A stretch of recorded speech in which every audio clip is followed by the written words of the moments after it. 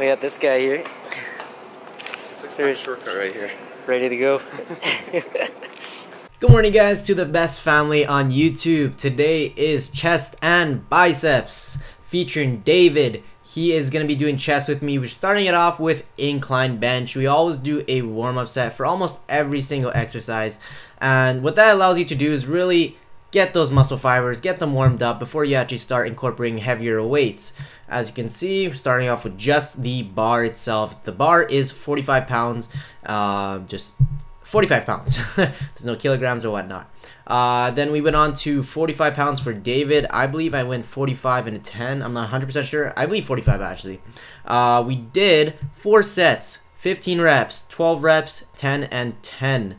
That's lots of volume uh, to really develop that muscle. Right now I'm bulking up. You guys know that if you guys are following me. Lots and lots of volume, meaning when you do volume, you're gonna have to do a lot more reps, uh, a lot more sets. Sets are gonna roughly be around four to five sets. The limit, I'd say, is three. Uh, I mean, sorry, minimum three sets. So after we do incline bench, we do the same weight for incline bench, just so you guys know. It's the same weight for 15 reps, 12 reps, and 10 reps for four sets, just constant. Next thing we did are the incline dumbbell flies. That is three sets of 12 to 15. I use 35 pound dumbbells.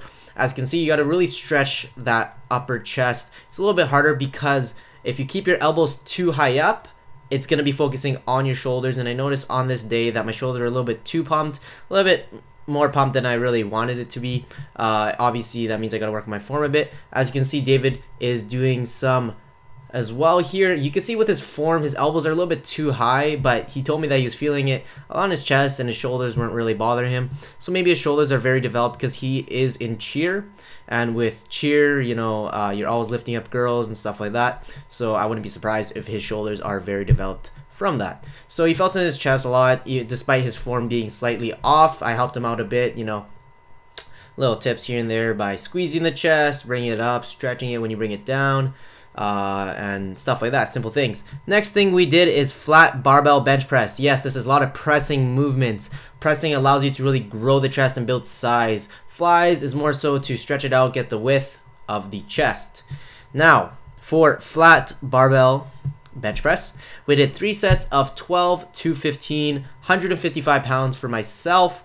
And when I say 12 to 15 reps, what I normally do is for the first set I do 15, second set I do 14, and the third set I do 13. So I'm still keeping it in the range of 15 to 12 reps, but I'm pushing myself when it's more so in the beginning. And you guys saw there I did a little wink, or David did a little wink there, so I uh, slowed down the footage just so you guys can see. You probably get a little mad from that.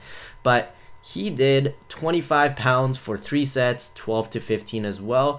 I'm not quite sure if he started it with 35 pounds at first, that's what I do when I train people. I try to push them to their limits. I try to make sure they lift heavy, but not so much that they're going to injure themselves. Here, David's doing dips. We are doing dips now for two sets of 12 to 15, no weight whatsoever. You can see David, he's going a little bit too low on his form.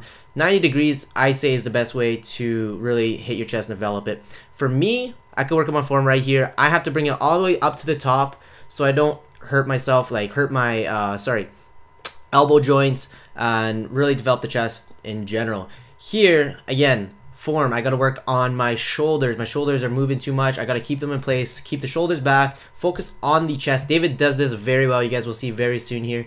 See, I got to keep my shoulders back and focus on the chest. Sometimes I kind of shrug my shoulders a little bit too much and making that hunchback, and you do not want to be doing that when you're hitting your chest. For here, we did cable crossovers, two sets, 12 to 15. Sometimes I added another set, depending on how the chest is feeling itself. Uh, I would do eight going downward, kind of focusing more so on the bottom of the chest, then eight going forward, focus more on the mid chest. You can see here David is very good with his form, keeping the shoulders back, focusing on the contraction of the chest itself. This is very good form, David. Uh, if you're watching this, good, good form. Uh, see, you can see here he's focusing on the chest. You know, he has the good face for for hitting chest. You know, all that great stuff. Next off, we moved on to biceps. Now we did reverse try uh, sorry reverse bicep curls we did three to four sets i believe of 12 to 15 this is higher reps always high volume we're trying to build muscle not build strength We did 10 pounds on each side. And you can see on David's form, his elbow is moving a little too much. With my form, now my body moves too much. So there's always something you could fix. No matter how long you've been training, there's always something you can fix. And I've been training for four years, so there's definitely always going to be something you could fix. Now, next thing we did is straight barbell curls, four sets, 20, 15, 15, and 12 reps. This is just 45 pounds, sorry, 40 pounds for this one. Uh, I started a little bit heavier when I do 20 reps, then I slightly go down because it gets a lot harder when you're doing 20 reps, 15 reps, 15 reps, and 12.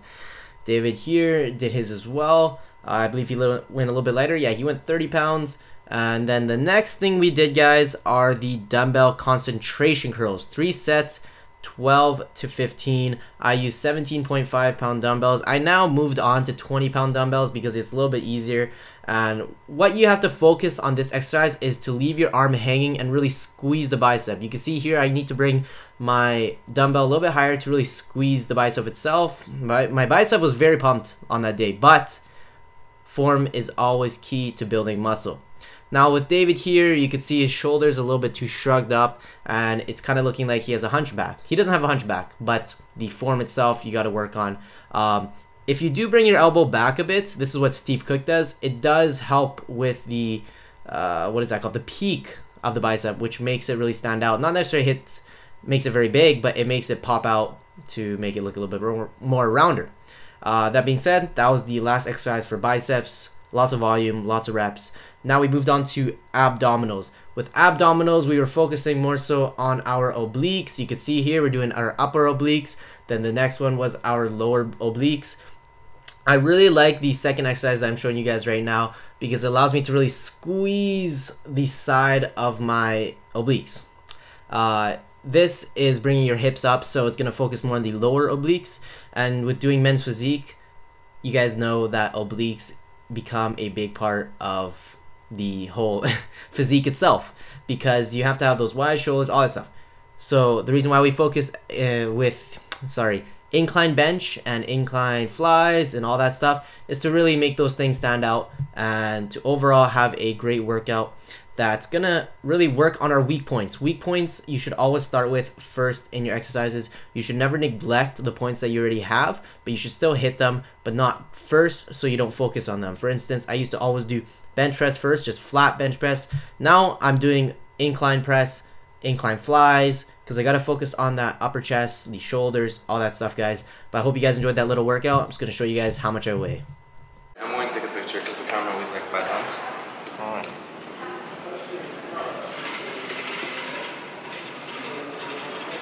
Shit.